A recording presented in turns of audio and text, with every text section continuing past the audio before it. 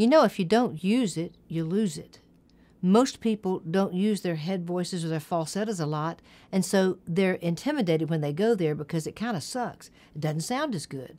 So, what I want to tell you about strengthening your head voice and your falsetto is you have to go up there and you have to exercise it, you have to condition it to have any kind of strength or any kind of power. If you're not used to using your falsetto your head voice, it'd be a good idea for you to find some songs that make you have to sing up there, not ones where you can avoid it, but ones where you have to go there and practice singing up there. Even if it sucks, that's okay.